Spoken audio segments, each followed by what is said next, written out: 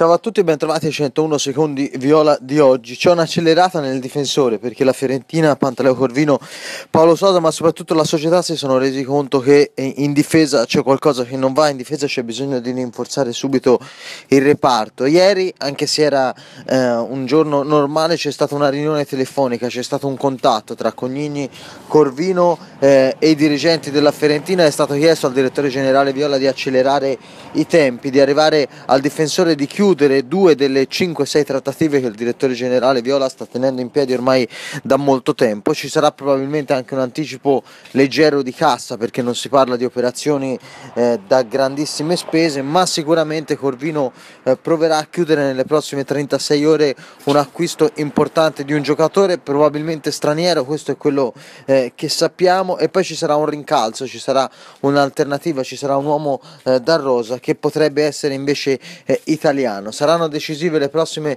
36 ore, Paolo Sosa potrà così avere a disposizione un rinforzo che anche numericamente fa molto comodo vista eh, la situazione nel reparto arretrato viola che continua ad essere molto difficile, molto delicata. Era il reparto dove occorreva muoversi con maggiore velocità, dove occorrevano maggiori rinforzi. Invece la Fiorentina si ritrova ancora oggi al 2 eh, di agosto in una situazione sicuramente delicata, non bella e pericolosa in vista di un futuro che dovrà ripartire anche dal settore eh, difensivo della squadra. A domani con i 101 secondi viola, un saluto da Marco Dell'Olio.